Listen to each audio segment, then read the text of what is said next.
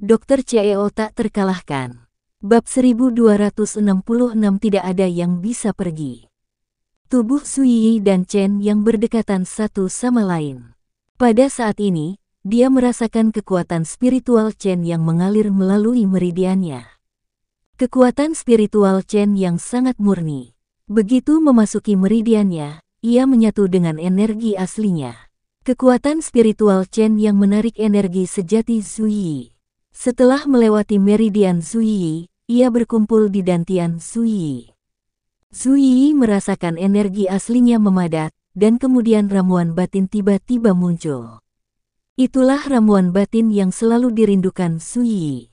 Saat itu, di puncak-puncak Senlong, Chen yang menggunakan ramuan batin dari pria yang gagal mengatasi kesengsaraan untuk membantu Su Yi menembus tingkat misterius duniawi. Namun tidak ada ramuan batin di tubuh Su Yi. Meskipun Su Yi berada di level bumi Suan, karena dia tidak memiliki formasi pil, kekuatannya masih agak berbeda dari pembangkit tenaga listrik level bumi Suan pada umumnya. Setelah ramuan terbentuk, energi sebenarnya akan lebih murni. Yi tidak menyangka bahwa untuk membantu Yi menghilangkan rasa dingin dan menyelamatkan nyawa Yi, Chen yang secara tidak sengaja membantu Yi membentuk obat mujarab. Baru kemudian Yi menyadari bahwa kultivasi ganda antara pria dan wanita meningkatkan kekuatan mereka begitu cepat, tak heran Gu Bingki terobsesi dengan kultivasi ganda dengan Chen Yang. Hati-hati, jangan berpikir sembarangan, konsentrasi. Chen yang merasa suasana hati Yi telah sedikit berubah saat ini, dan segera mengingatkan Zuyi. Yi berbisik, aku, sepertinya aku telah membentuk sebuah pil. Tenang, Chen yang berkata, jangan terganggu. Aku, aku akan mencoba yang terbaik, kata Yi. Saat ini, pipinya memerah. Dia belum pernah sedekat ini dengan Chen yang sebelumnya, dan sekarang dia sepenuhnya memahami reaksi Gu Bingqi saat itu. Makam besar. Ketika Suan Ling dan Meng Xin berselisih, Suan Wudao benar-benar marah. Aku ingin kalian semua mati. Suan Wudao meraung marah. Dia melihat roh jahat diserap terus-menerus oleh Suan Wudao. Tiba-tiba, hantu jahat yang ganas terlihat samar-samar di belakang Suan Wudao. Saat Suan Wudao menyerap lebih banyak energi jahat, hantu jahat itu semakin besar. Mata Suan Wudao berwarna merah darah, dia memegang sabit kematian di tangannya, dan dia menatap langsung ke arah Bai Wuxin. Siapa pun yang menghalangi jalanku akan mati. Suan Wudao melambaikan sabit kematian dan menebas Bai Wuxin. Bai Wuxin melompat dan menghindari serangan ini. Tapi retakan yang dalam langsung muncul di tanah tempat Bai Wuxin berdiri. Saat kaki Bai Wuxin mendarat, Suan Wudao telah memegang sabit kematian dan menyerang Bai Wuxin lagi. Panggilan Bai Wuxin tidak punya pilihan selain menghindar lagi, tapi kali ini, pilar batu di belakang Bai Wuxin terpotong. Dari atas, batu terus berjatuhan. Ketika Bai Wuxin melihat situasi ini, dia tahu ada yang tidak beres. Jika kita tetap seperti ini lebih lama lagi, dia khawatir hanya akan ada jalan buntu. Dia ingin menghancurkan bunga Mingluo di sisi lain sini, tetapi tampaknya jika dia tidak melarikan diri, dialah yang mati. Suan Wudao, kita bicarakan nanti. Bai Wuxin melompat, melewati Suan Wudao, dan langsung berlari ke pintu keluar. Sekarang, Bai Wuxin hanya punya satu pikiran, untuk pergi dari sini. Tapi Suan Wudao tidak ingin Bai Wuxin pergi. Dia melihat dengan matanya sendiri cucunya Suan Ling jatuh ke sungai bawah tanah, yang sangat berbahaya. Saat ini, Suan Wudao hanya ingin membunuh Bai Wuxin dan membalaskan dendam Suan Ling. Di mata Suan Wudao, semua ini adalah kesalahan Bai Wuxin. Jika Bai Wuxin tidak menghentikannya, dia bisa menyelamatkan Suan Ling, Bai Wuxin lah yang menghentikannya menyelamatkan cucunya maka dia hanya bisa membunuh Bai Wuxin sekarang. Kamu tidak bisa melarikan diri, kamu hanya bisa mati di sini. Suan Wudao tiba-tiba meraung. Kemudian dia melihat hantu jahat di belakangnya tiba-tiba menerkam Bai Wuxin. Pada saat ini, sabit kematian di tangan Suan Wudao juga ada di tangan hantu jahat. Astaga, keluarga Siang Kisuan ini benar-benar memiliki sesuatu di balik lengan bajunya. Ketika Bai Wuxin melihat Suan Wudao benar-benar menyerahkan sabit kematian kepada roh jahat yang dipenuhi energi jahat, otak Bai Wuxin menjadi gila. Hantu jahat ini dikumpulkan oleh Suan Wudao dengan energi jahat. Ada roh jahat di mana-mana di sini, dan hantu jahat ini tidak terkalahkan di sini. Bai Wuxin tahu betul bahwa jika dia melawan hantu jahat ini di sini, hanya akan ada satu hasil, dan itu adalah kematiannya. Dia tidak bisa mati di sini. Bai Wuxin tiba-tiba melompat dengan kuat dan sudah mencapai pintu keluar.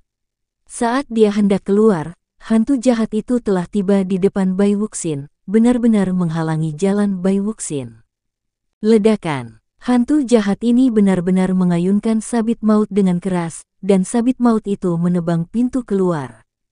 Ledakan. Dengan suara runtuh di atas, pintu keluar diblokir sepenuhnya. Aku, aku tidak ingin mati. Saat Luo Hao melihat pintu keluar runtuh, dia pingsan terlebih dahulu. Luo Hao tidak pernah mengira keadaan akan menjadi seperti ini. Luo Hao berpikir dengan sangat sederhana, bawa saja Suan Wudao ke sini. Siapa sangka Chen Yang dan Bai Wuxin begitu kuat, terutama Bai Wuxin, yang benar-benar di luar ekspektasi Luo Hao dan kekuatan mereka sangat menakutkan. Dia ingin melarikan diri sebelumnya, tetapi dia sedikit ragu-ragu, dan pintu keluarnya runtuh. Suan Wudao ingin melawan Bai Wuxin sampai mati di sini.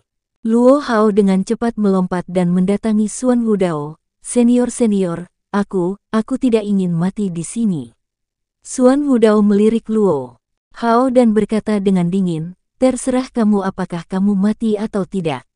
Keputusan ada di tanganku.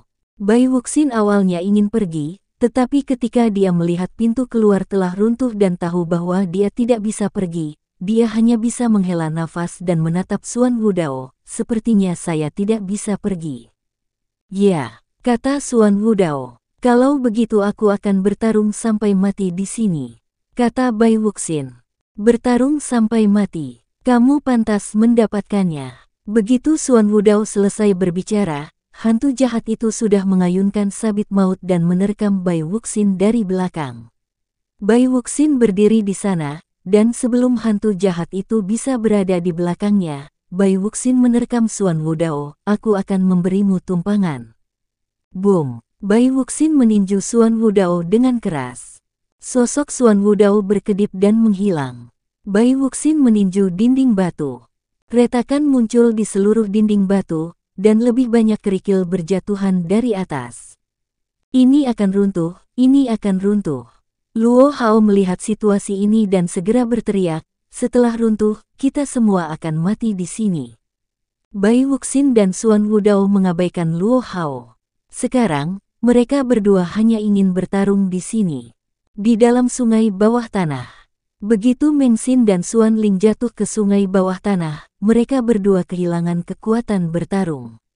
Air di sungai bawah tanah terlalu dingin, meski tidak ada piranha, keduanya tidak akan mampu menahan udara dingin. Saat ini, Meng Xin dan Suan Ling mencapai sungai dan tidak lupa mengambil tindakan. Namun, tak satu pun dari mereka bisa membunuh satu sama lain. Tiba-tiba seekor ikan besar menyerang mereka. Keduanya langsung berpisah, namun ikan besar itu tetap menghantam Meng Xin. Meng Xin merasakan matanya menjadi gelap dan kehilangan kesadaran saat itu. Suan Ling berenang ke atas dengan seluruh kekuatannya. Ikan besar itu bertabrakan lagi dengannya, meskipun Suan Ling berusaha sekuat tenaga, dia tetap berhasil ditangkap oleh ikan besar itu. Ikan besar itu membuka mulutnya dan menggigit tangan kiri Suan Ling dalam satu gigitan. Darah mengalir dari tangan Suan Ling, dan darah itu segera menarik sekelompok piranha yang bergegas menuju Suan Ling. Bab 1267, apakah dia bangun? Zongsu, di langit, sambaran petir menembus langit malam. Ming Chenglang memegang gelas anggur di tangannya, duduk di pavilion di halaman kecil, minum anggur dengan santai. Sepertinya semua yang terjadi di luar tidak ada hubungannya dengan dia. Ming Sui mendekat dan duduk di depan Ming Chenglang. Paman, apakah petirnya terlalu kuat malam ini? Aku selalu merasa ada sesuatu yang terjadi. Mungkinkah kura-kura hitam di bawah tanah di Zongsu akan segera bangun? Petik 2. Ming Chenglang meminum anggur di gelas dalam satu tegukan dan menaruh gelas anggur. Kamu juga tahu tentang penyu hitam. Aku tidak bodoh. Ming Sue berkata, Bagaimana mungkin aku tidak tahu bahwa keluarga Ming telah menjaga Zongzu selama bertahun-tahun demi penyu hitam? Ming Chenglang menuangkan segelas lagi, orang tua itu tidak mengatakan yang sebenarnya. Keluarga Ming kami tidak menjaga Suang Wei, tetapi Leidu. Alasan mengapa kami memilih Zongzu adalah karena dekat dengan Leidu, dan Leidu adalah tempat yang benar-benar membutuhkan penjagaan kita. Petik 2. Leidu Ming Sui melirik ke arah Ming Chenglang, kakek meminta Ming Yu dan aku pergi ke Leidu. Tampaknya itu bukan karena beberapa penjahat, tetapi karena alasan lain, orang tua itu memang memiliki indera yang tajam. Ming Chenglang berkata, misalnya, tidak izinkan saya menjaga Zongzu dan tidak mencampuri urusan Suangui. Sekarang tampaknya orang tua itu telah memperhitungkan bahwa seseorang akan datang untuk menyelesaikannya. Petik 2. Chen Yang. Ming Sui tiba-tiba bertanya. Seharusnya itu dia. Ming Chenglang berkata, tidak yakin. Paman, jika Chen Yang tidak dapat menyelesaikan kura-kura hitam, apa yang akan terjadi dengan Zongzu? Tanya Ming Sui. Hancur. Ming Chenglang berkata, saya khawatir ada korban yang tak terhitung jumlahnya, tapi ini juga takdir mereka. Kita tidak bisa berbuat apa-apa selain melihat mereka mati. Saya tidak mengerti, inilah caranya surga. Yang dilindungi keluarga Ming kita. Tanya Ming Sui. Ya, Ming Chenglang mengangkat gelas anggur di tangannya lagi dan memandang Ming Sui, justru karena kita melindungi jalan surga dan tidak terpengaruh oleh cara-cara jahat maka dunia akan menjadi damai. Sudut mulut Ming Sui mengangkat, mengungkapkan dengan senyuman menghina, coba saya lihat, itu hanya alasan bahwa keluarga Ming tidak dapat membunuh penyu hitam. Jika itu benar-benar penyu hitam, bahkan jika kakek datang, akan sulit untuk membunuhnya. Bagaimanapun, kura-kura hitam ini adalah binatang suci, dia bukan monster. Ming Chenglang tetap diam. Ledakan. Sambaran petir lain melintas di langit. Sambaran petir ini tiba-tiba menghantam atap sebuah bangunan kecil di villa keluarga Luo. Bangunan kecil itu langsung terbakar. Para pelayan keluarga Luo berteriak kaget. Pada saat ini, di aula keluarga Luo, Luo Kifeng memegang cangkir teh di tangannya dan menyesap tehnya. Luo Ao dan istrinya mengajak Luo Jiai duduk di depannya. Pada saat ini, pengurus rumah tangga bergegas masuk, Tuan, petir telah menghancurkan aula leluhur. Apa? Luo Kifeng tidak menanggapi. Luo Ao melompat ketika dia mendengar kata-kata pengurus rumah tangga, saya akan pergi ke sana dan melihat. Tidak perlu. Luo Kifeng sangat tenang dan berkata dengan ringan, minta saja seseorang untuk menyelamatkannya. Ya, pengurus rumah tangga setuju dan segera keluar. Mata Luo Kifeng tertuju pada wajah Luo Jiai, cucu, aku sangat senang kamu bisa kembali. Keluarga Luo memang berhutang padamu sebelumnya, tapi aku berjanji tidak akan pernah berhutang padamu lagi. Bahkan di masa depan, aku bisa mengambil ini aku ingin kamu menjadi kepala keluarga Luo. Luo Jiai tidak menanggapi. Kata-kata ini terdengar biasa bagi Luo Jiai. Jika sebelumnya, Luo Jiai mungkin masih bersemangat, tetapi sekarang Luo Jiai sudah melihat kakeknya dengan jelas dan tidak mempedulikan hal ini. Melihat Luo Jiai tidak bereaksi, Luo Kifeng berkata, apakah kamu tidak puas? Luo. Jiai mendengar kata-kata Luo Kifeng dan berkata, kakek, ketika saya kembali kali ini, saya tidak ingin kembali ke keluarga Luo, tetapi aku ingin memberitahu kakek, tuanku adalah penerus dewa pengobatan, dan aku akan membangun bisnisku sendiri. Kurang ajar. Ketika Luo Kifeng mendengar kata-kata Luo Jiai, dia langsung berteriak dengan marah, tahukah kamu apa yang kamu bicarakan? Kamu adalah cucuku, Luo Kifeng, kamu sangat memberontak dan ingin mendirikan bisnismu sendiri, kamu benar-benar membuatku kesal. Luo Jiai memandang Luo Kifeng ketika dia mendengar apa yang dikatakan Luo Kifeng, dan berkata dengan ringan, 13 jarum akupuntur Suanmen yang saya pelajari diajarkan kepada saya oleh guru saya. Jika saya kembali ke keluarga Luo, 13 jarum Suanmen ini akan menjadi milik keluarga Luo. Tapi kenyataannya, inilah yang diajarkan guru saya kepada saya. Kamu tidak akan percaya bahwa dia benar-benar keturunan dewa pengobatan, kan? Konyol. Luo Qifeng memandang Luo Jiayi dan berkata, hanya keluarga Luo kami yang merupakan sekte asli pengobatan misterius, hanya pembohong atas nama Dewa Pengobatan. Apakah dia pembohong atau tidak? Saya telah membuat keputusan. Saat Luo Jiayi berbicara, dia tiba-tiba berlutut di depan Luo Qifeng. Bum, bum, bum.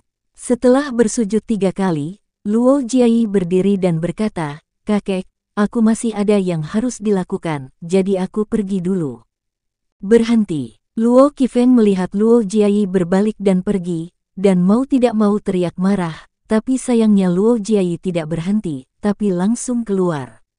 Luo Qifeng menatap langsung ke arah Luo Ao dan istrinya, dan dengan marah berkata, Lihatlah putri yang kamu dan istrimu besarkan, dia tidak memiliki pendidikan sama sekali.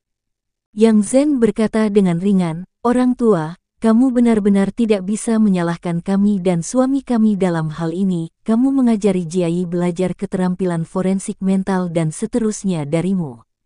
Saat itu, kamu tidak membiarkan aku menjaganya. Sekarang, aku bisa menjaga dia lebih baik lagi, Pak Tua, jika ada yang harus kamu lakukan, pergilah dulu. Kamu, kamu, Luo Qifeng hampir marah sampai mati oleh Yang Zen, tetapi Yang Zen mengabaikan Luo Qifeng dan berjalan pergi. Ketika Luo Qifeng baru saja melihat ke arah Luo Ao, Luo Ao tiba-tiba berkata, sebaiknya aku pergi dan melihat aula leluhur. Setelah mengatakan itu, Luo Ao juga berlari keluar, meninggalkan Luo Qifeng sendirian di sini. Makam besar, Bai Wuxin berdiri di depan Suan Wudao. Pada saat ini, mata Suan Wudao benar-benar merah darah, dan dia sekarang terobsesi untuk membunuh Bai Wuxin.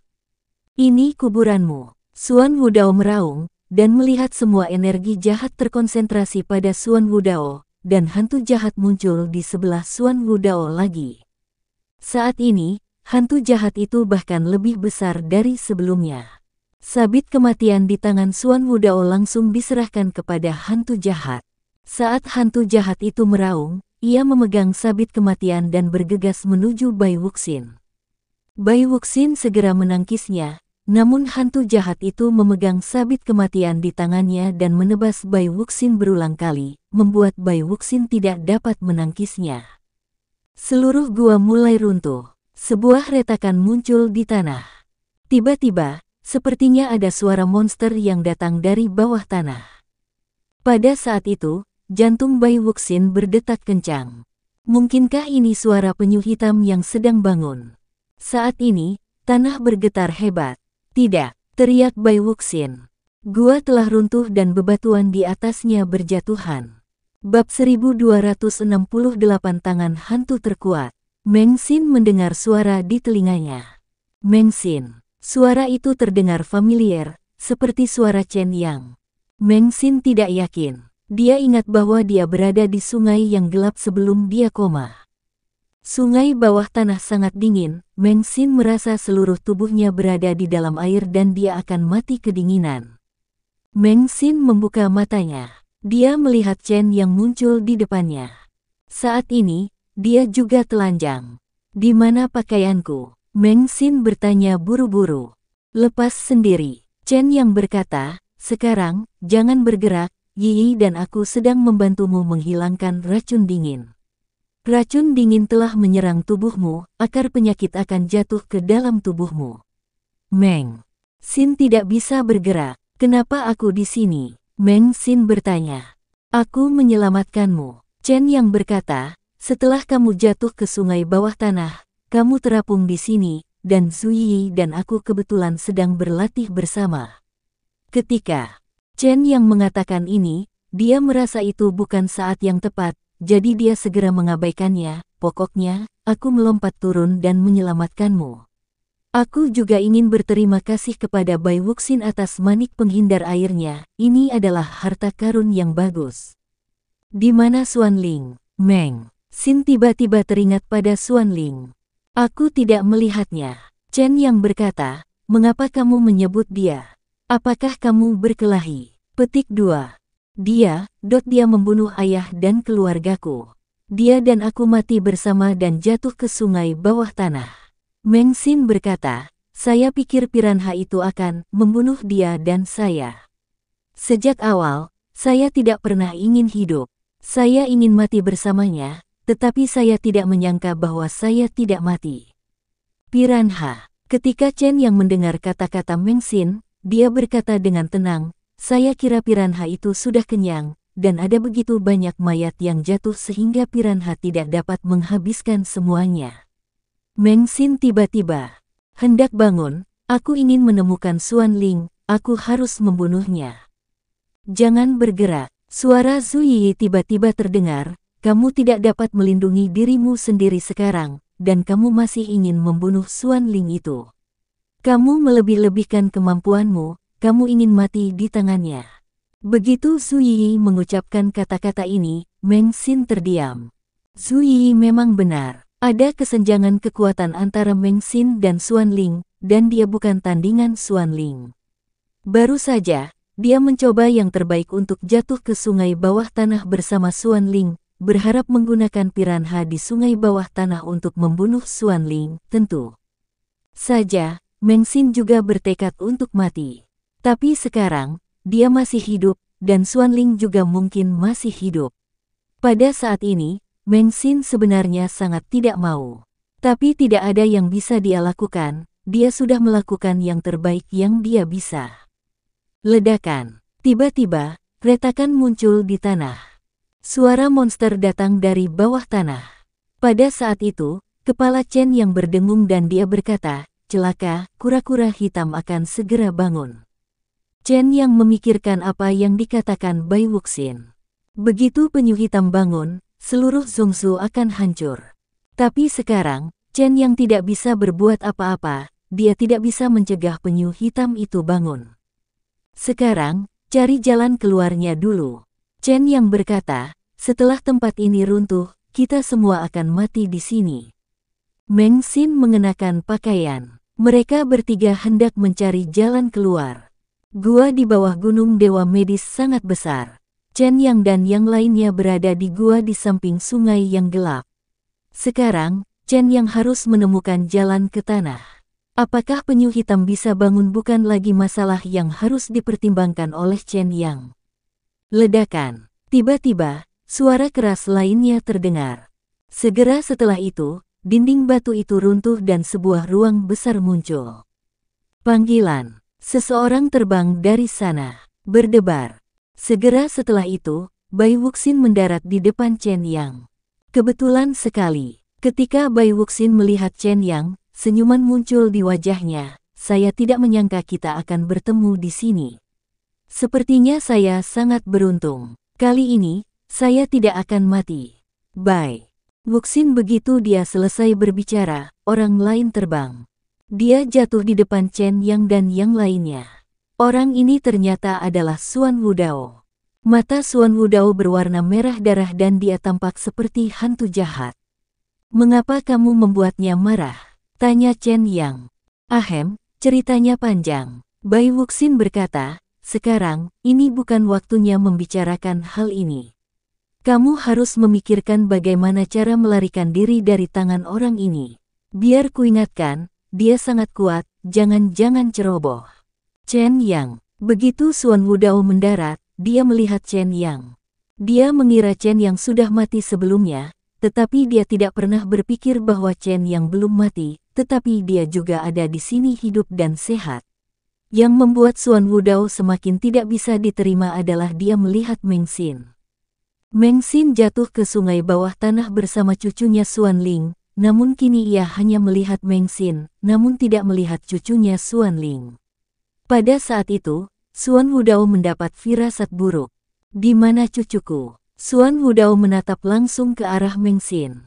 Pada saat ini, Suan Wudao ingin mencabik-cabik Meng Xin. Saya tidak tahu. Meng Xin mendengar kata-kata Suan Wudao, memandang Suan Wudao, dan berkata dengan dingin, meskipun saya ingin membunuhnya, dia menghilang. Saya tidak tahu di mana dia. Dia. Suan Wudao mendengar kata-kata Meng Xin dan tidak mempercayai kata-kata Meng Xin sama sekali. Dia menatap langsung ke arah Chen Yang, kalian membunuh cucuku, aku ingin kamu dikuburkan dengan. View. Suan Wudao terbuka lagi. Hantu jahat itu muncul lagi di samping Suan Wudao. Namun, kali ini hantu jahat itu jelas lebih kecil dari sebelumnya. Roh jahat di sini berkurang. Suan Wudao perlu menggunakan energi jahat untuk mengumpulkan hantu jahat ini. Roh jahat ini dibentuk oleh roh jahat. Tuan muda, izinkan saya datang. Setelah Yi melihat Suan Wudao, dia mengeluarkan kekuatan bintang dan bulan di tangan kanannya. Yi saat ini benar-benar berbeda dari sebelumnya. Meskipun Yi masih berada di tingkat awal bumi Suan, energi sejatinya lebih murni, dan Yi telah membentuk ramuan. Yi memandang Suan Wudao dan berkata dengan dingin, saya kebetulan ingin membantu keluarga Su kami membalas dendam. Kali ini Yi tidak menarik pesona lagi. Dia meletakkan kekuatan bintang dan bulan di tangan kirinya dan mengepalkan tangan kanannya. Dalam sekejap, tangan kanan Zuyi tiba-tiba bersinar terang. Tangan hantu bukan hanya jimat, itu adalah senjata paling ampuh. Zuyi memandang Suan Wudao dan berkata dengan dingin, kalau begitu biarkan kamu melihat kekuatan tangan hantu itu. View. Tanda seru. Tinju kanan Zuyi telah mengenai Suan Wudao dengan keras. Pergi. Ketika Suan Wudao melihat Yi mengepalkan tinjunya dan memukulnya, dia segera mengusir roh-roh jahat di sekitarnya untuk menerkam Yi. Hati-hati, roh jahat ini dibentuk oleh roh jahat dan sangat kuat. Bai Wuxin mengingatkan, saya tidak berani melawannya. Yi sepertinya tidak mendengar kata-kata Bai Wuxin, dan tangan kanannya telah mengenainya, sudah bertarung dengannya. Roh-roh jahat saling bertabrakan. Bang! Tepat ketika Yi memukul hantu jahat itu dengan tinjunya, hantu jahat itu tiba-tiba dihancurkan oleh Yi. Bab 1269 Apakah ini kura-kura hitam? Yi meninjunya, dan hantu jahat itu tiba-tiba menghilang. Suan Wudao kaget saat itu. Dia tidak menyangka Yi menjadi begitu kuat. Hanya dengan satu pukulan, roh jahatnya langsung bubar. Sebelumnya, Suan Wudao belum pernah bertemu orang yang bisa melakukan ini. Tiba-tiba, Suan Wudao menyadari bahwa dia mungkin melakukan kesalahan yang sama seperti Suan Gui, yaitu meremehkan Chen Yang. Ada master seperti Zhu Yi di samping Chen Yang, Suan Wudao datang ke sini sendirian berarti mengirimnya ke kematian. Cucunya juga hilang sekarang. Suan Wudao memegang sabit maut di tangannya dan memandang Su Yi. Keluarga Su dengan tangan hantu memang sangat tidak biasa, tapi bukan berarti kamu bisa memenangkan sabit mautku. Ini adalah Horcrux, aku. Sebelum Suan Wudao selesai berbicara, dia tiba-tiba mendengar suara lemah Suan Ling datang, kakek, selamatkan, selamatkan aku. Ketika Suan Wudao mendengar kalimat ini, dia tiba-tiba dia melompat dan melompat ke bawah. Ini adalah sebuah gua, dan medan di dalamnya sangat kompleks. Chen Yang dan yang lainnya hanya meraba-raba, mencoba mencari jalan keluar, dan tidak menjelajah lebih dalam ke bawah. Saat ini, suara Suan Ling datang dari sana. Suan Ling. Begitu Meng Xin mendengar suara Suan Ling, kilatan kemarahan melintas di matanya. Ibu dan keluarganya meninggal di tangan Suan Ling. Sebelumnya, Meng Xin mengira Suan Ling telah mati, namun ia tidak menyangka bahwa Suan Ling tidak mati seperti dirinya. Namun, mendengarkan suara Suan Ling, Suan Ling sepertinya terluka parah. Sekarang adalah kesempatan untuk menyingkirkan Suan Ling. Tepat ketika Meng Xin hendak melompat, Chen yang sepertinya telah membaca pikiran Meng Xin. Dia memegang tangan Meng Xin dengan tangan kanannya dan menatap Meng Xin, jangan pergi ke sana. Aku, Meng Xin membuka mulutnya, tetapi ketika matanya bertemu dengan mata Chen Yang, Meng Xin menarik kembali apa yang akan dia katakan. Chen yang mengkhawatirkannya, tetapi Meng Xin sebenarnya tahu di dalam hatinya bahwa meskipun Suan Ling terluka, selama Suan Wudao berada di sisi Suan Ling, dia tidak akan memiliki kesempatan untuk membunuh Suan Ling. Meskipun Meng Xin tidak mau melakukannya, dia hanya bisa berdiri di tempatnya. Aku tahu, Meng Xin mengubah kata-katanya. Chen yang mengulurkan tangannya dan menarik Bai Wuxin dari tanah. Tidak buruk, kamu belum mati. Chen yang melirik Bai Wuxin, saya selalu berpikir kamu akan mati di tangan Suan Wudao, tapi saya tidak berharap kamu bertahan sampai sekarang. Keluarga King Kong Bai kami adalah yang terbaik dalam hal itu. Satu-satunya hal yang bisa saya lakukan adalah dipukuli. Bai Wuxin tersenyum, tubuh saya sangat keras, senjata Suan Wudao tidak dapat menyakiti saya. Petik 2. Lalu kamu masih tetap bersembunyi kata Chen Yang. Setelah Bai Wuxin diekspos oleh Chen Yang, dia tidak merasa malu dan berkata, apakah kamu baru saja mendengar suara monster bawah tanah? Petik 2. Ya, Chen Yang berkata, tadi tanah masih bergetar. Saya pikir penyu hitam telah bangun. Saya juga merasa penyu hitam akan segera bangun. Bai Wuxin berkata, namun, saya benar-benar tidak dapat melakukan apa pun sekarang, dan kami tidak dapat menahan penyu hitam. Sekarang, mari kita cari jalan keluar, kan? Kamu berpikiran sama denganku. Chen yang berkata setelah mendengar kata-kata Bai Wuxin, aku juga berpikir begitu, ayo pergi dari sini sekarang. Sudahkah kamu melepaskan Suan Wudao? Bai Wuxin tiba-tiba bertanya. Saya tidak ingin mati di sini. Saat Chen yang mengatakan ini, tanah tiba-tiba bergetar lagi. Kali ini, tanah semakin berguncang, seolah-olah ada sesuatu yang mengalir dari tanah kapan saja. Suangui, Bai Wuxin berseru, selain Suangui, aku benar-benar tidak bisa memikirkan monster lain yang bisa melakukan gerakan sebesar itu. Keluar dulu, Chen yang berhenti menunda. Gua ini sepertinya bisa runtuh kapan saja, dan sangat berbahaya untuk tetap berada di sini. Tepat ketika beberapa orang baru saja menemukan jalannya, mereka tiba-tiba mendengar teriakan Luo Hao. Ya Tuhan, tolong. Chen yang terdiam, apakah itu suara Luo Hao? Seharusnya begitu, kata Bai Wuxin. Apakah ada keluarga Luo di sini? Chen yang melihat dan berkata, tidak, ayo pergi. Chen yang sama sekali tidak ingin berbicara dengan Luo Hao. Tetapi tidak jauh setelah beberapa orang keluar, mereka mendengar ledakan, dan tubuh Luo Hao terbang dan jatuh dengan keras di depan Chen Yang. Selamatkan aku. Luo Hao berlumuran darah, dia sangat menderita ketika dia terbang tadi. Chen Yang melirik Luo Hao, bagaimana kamu terbang ke sini? Kura-kura, kura-kura. Luo Hao menunjuk ke arah yang baru saja dia terbangi. Pada saat itu, Chen Yang, Bai Wuxin dan yang lainnya menjadi gugup.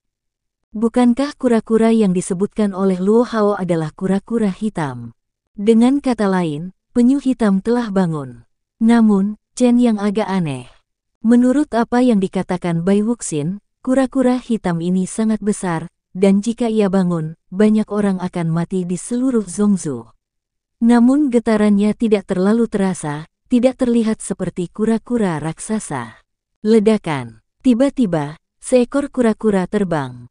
Kura-kura ini seperti batu besar. Dia berguling ke sini. Ayo pergi. Begitu Chen yang melihat kura-kura itu datang, dia mengulurkan tangannya, meraih tangan Su Yi dan Meng Xin, dan membawanya pergi dari sini. Tolong aku. Luo Hao berteriak dengan paksa ketika dia melihat Bai Wuxin. Bai Wuxin bahkan tidak melihat ke arah Luo Hao, dan langsung melompat. Kura-kura itu berguling ke bawah dan berguling tepat di atas Luo Hao. Ledakan. Kura-kura itu berhenti. Cangkang penyunya sangat keras. Meskipun Luo Hao tidak hancur sampai mati, dia merasa ada banyak patah tulang di tubuhnya. Dia tahu dia harus melarikan diri dari sini secepat mungkin, jika tidak, yang ada hanya kematian.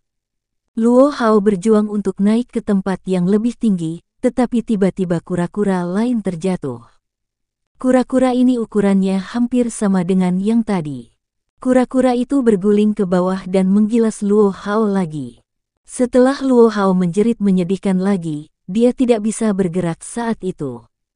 Dua kura-kura, Chen yang tercengang saat melihat kura-kura lain datang, dan memandang Bai Wuxin, berapa banyak kura-kura hitam yang kamu katakan sebelumnya?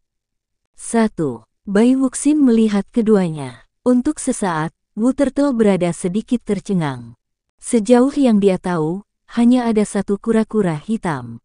Namun kini, ia melihat dua ekor penyu, meski kedua penyu tersebut terlihat lebih besar dari penyu biasa, namun ukurannya tidak sebesar penyu hitam legendaris. Panggilan. Tiba-tiba, seekor penyu lain berguling turun dari atas. Luo Hao sudah hampir mati, tetapi ketika kura-kura itu berguling, kebetulan ia berguling ke tempat Luo Hao merangkak. Pada saat itu, Luo Hao menjerit, dan tidak ada suara lagi. Mati. Mata Bai Wuxin tertuju pada Luo Hao, apakah kamu ingin pergi dan melihatnya? Kamu saja yang pergi. Chen yang berkata tanpa ragu-ragu, pokoknya, aku tidak ingin pergi sekarang, ini tiga kura-kura, siapa pun sudah cukup bagi kita untuk bertarung dalam waktu yang lama. Benar, kita tidak mengenalnya. Bai Wuxin berkata, anggap saja kita belum melihatnya. Bab 1270 ini adalah dunia yang tidak pernah saya bayangkan. Tiga kura-kura tiba-tiba muncul. Dan ketiga penyu ini semuanya berukuran sangat besar. Saya merasa ketiga kura-kura ini adalah monster di bawah tanah. Mata Chen yang tertuju pada ketiga kura-kura itu. Kita semua baru saja mendengar suara monster di bawah tanah, dan itu berasal dari ketiga kura-kura ini. Ketika Chen yang mengatakan ini, dia tiba-tiba berhenti sejenak dan menatap Bai Wuxin. Apakah kura-kura hitam dan kura-kura ini merupakan spesies yang sama? Ya, kata Bai Wuxin. Tidak, Zui tiba-tiba berkata, mereka adalah dua spesies. Bai Wuxin, kamu sangat bodoh, kamu bahkan tidak mengetahui hal ini. Chen yang melirik Bai Wuxin. Kalau begitu, kamu tahu. Bai Wuxin melirik ke arah Chen Yang, kamu baru saja bertanya padaku dengan jelas, dan menurutku kamu juga tidak tahu. Aku, aku hanya tidak yakin. Kata Chen Yang, pertanyaannya sekarang adalah apakah kita harus lari atau membunuh mereka, saya pikir yang pertama lebih dapat diandalkan. Saya tidak takut pada mereka, tetapi mereka bisa runtuh kapan saja. Sebaiknya kita menunggu sampai guncangan tanah berhenti sebelum kembali. Setuju. Tanda seru petik 2. Bai Wuxin setuju. Tepat ketika Chen Yang dan Bai Wuxin setuju bahwa mereka harus pergi, tiba-tiba tanah berguncang lagi. Segera setelah itu, ada retakan lain di tanah.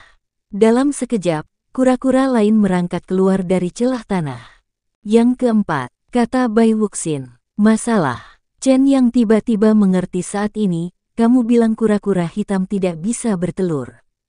Begitu Chen yang mengatakan ini, Bai Wuxin mengerti apa maksud Chen Yang, dan matanya menatap Chen Yang, dengan kata lain, kura-kura ini sudah bangun.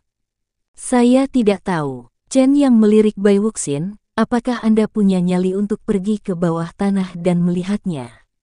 Bai Wuxin tersenyum. Sekarang aku di sini, aku tidak punya niat untuk pergi hidup-hidup. Bai Wuxin melirik ke celah di tanah, karena kura-kura ini merangkak keluar dari bawah, itu berarti ada jalan di bawah. Aku akan pergi pertama. View. Bai Wuxin sebenarnya melompat turun. Chen yang melirik Yi, dan sebelum Chen yang dapat berbicara, Yi melompat dan melompat ke bawah. Tidak bisakah kamu menunggu sampai aku menyelesaikan apa yang aku katakan? Chen yang jelas sangat tidak puas karena Yi melompat turun sebelum dia bisa menyelesaikan apa yang dia katakan. Chen yang hanya bisa mengeluh dan menatap Meng Xin. Aku bersamamu. Meng Xin memegang tangan Chen Yang, ayo pergi. View. Meng Xin langsung melompat turun bersama Chen Yang. Tidak ada yang mengira ada juga gua kosong di bawah.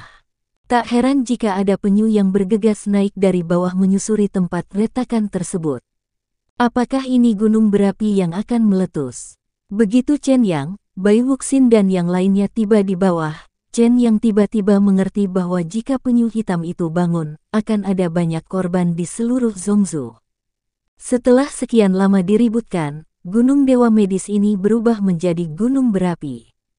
Gempa bumi yang terjadi tadi merupakan tanda-tanda gunung berapi akan segera meletus. Gunung berapi akan meletus, dan kita tidak bisa menghentikannya. Bai Wuxin berkata, sekarang kita hanya bisa menginformasikan transfernya. Petik 2. Ming Cheng Lang, orang tua ini. Chen yang tiba-tiba bergumam, dia seharusnya tahu tentang letusan gunung berapi kan. Dia sengaja menipu aku. Chen yang marah. Segalanya telah melampaui ekspektasi Chen Yang. Sebelumnya, Chen yang benar-benar mengira kura-kura hitam sedang bangkit di bawah Zongzu, tetapi sekarang tampaknya ini jelas merupakan gunung berapi gunung dewa medis yang akan meletus. Jika mereka tidak pergi secepatnya, begitu gunung berapi meletus, sekuat apa pun mereka, mereka hanya akan mati di sini. Tuan muda, ada jalan di depan. Zui tiba-tiba berteriak. Chen yang melihat jalan gelap di depan. Beberapa dari mereka tiba di sana, dan pada saat ini, Chen yang tiba-tiba seperti mendengar seseorang memanggilnya, kamu di sini. Siapa? Chen yang berhenti. Bai Wuxin dan yang lainnya terkejut saat mendengar suara Chen Yang. Bai Wuxin segera bertanya, dengan siapa kamu berbicara? Seseorang sedang berbicara denganku, kata Chen Yang. Apakah ada orang? Apakah ada orang di sini? Bai Wuxin berkata, meskipun saya sedikit berani, saya masih sangat takut jika Anda mengatakan ini. Bisakah kita berhenti membuat lelucon seperti itu? Hus, tangan Chen yang memberi isyarat kepada Bai Wuxin untuk tidak berbicara. Dia berjalan ke depan. Zui, Bai Wuxin dan yang lainnya mengikuti Chen Yang, Chen Yang sepertinya sangat akrab dengan tempat ini. Meskipun sekelilingnya gelap gulita, bagi Chen Yang, tidak perlu ada cahaya di sini. Berjalan saja ke arah asal suara itu. Ini mungkin sudah lama ditakdirkan. Chen yang merasa suara itu sangat familiar, meskipun dia tidak tahu siapa itu, dia selalu merasa bahwa suara itu adalah suara seorang teman lama. Mereka bergerak ke bawah tanah. Ah, tiba-tiba, bagian depannya menjadi jelas. Pada saat itulah semua orang yang hadir berseru. Jika Anda belum melihatnya dengan mata kepala sendiri, sulit dipercaya itu benar. Saya melihat kura-kura besar tiba-tiba muncul. Di dekat penyu tersebut terdapat puluhan penyu yang ukurannya hampir sama dengan empat penyu yang ditemui Chen yang sebelumnya. Mereka semua menjaga penyu. Ketika Chen yang muncul, kura-kura ini menyerah. Kamu memanggilku, Chen yang tidak percaya. Ini pasti penyu hitam legendaris. Namun sepertinya penyu hitam ini sudah mati hanya menyisakan cangkangnya saja. Ya, suara Suan Gui berbunyi, kemarilah sendirian. Suan Gui memanggil Chen Yang. Chen Yang menyuruh Su Yi dan yang lainnya untuk tidak mendekat, dan dia berjalan menuju Suan Gui sendirian. Di kedua sisi, penyu menyingkir. Chen yang akhirnya tiba di depan Suangui. Hanya jasad penyu hitam yang tersisa, dan dapat diketahui bahwa ia sudah lama mati. Menurut legenda, penyu hitam di bawah tanah di Zongsu akan terbangun, namun kini tampaknya hal tersebut hanyalah legenda, dan penyu hitam tersebut telah mati. Tangan Chen yang menyentuh cangkang kura-kura hitam itu. Dalam sekejap, Chen yang langsung dibawa ke suatu tempat. Di sini, dia melihat penyu hitam. Dia melihat di depannya seekor kura-kura besar. Kamu akhirnya sampai di sini. Suangui berkata kepada Chen Yang, saya sudah menunggu lama sekali. Apakah kamu mengenal saya? Tanya Chen Yang. Aku kenal leluhurmu. Suangui berkata, aku pernah menjadi tunggangannya. Dewa pengobatan. Chen Yang bertanya dengan ragu. Ya, Suangui berkata, saya mengajaknya berenang melintasi laut dan melewati pegunungan. Akhirnya, setelah dia pergi, saya memilih tempat ini untuk menunggu dia kembali. Anda tidak bisa menunggu dia kembali, kata Chen. Yang, tidak, dia sudah kembali. Suangui berkata, kamu memiliki warisannya. Ketika kamu muncul, aku tahu bahwa aku akhirnya menunggu dia kembali. Meskipun tubuhku sudah mati, jiwaku yang tersisa masih di sini, aku akan memberikan kamu sesuatu sekarang, mendekatlah padaku. Chen yang berjalan ke arah Swan Turtle. Mimpi dan kenyataan adalah dua dunia, dan saya dapat melakukan perjalanan melalui dua dunia ini. Suangli berkata, sekarang, saya mewariskan kemampuan ini kepada Anda. Inilah yang akan saya serahkan kepada Anda.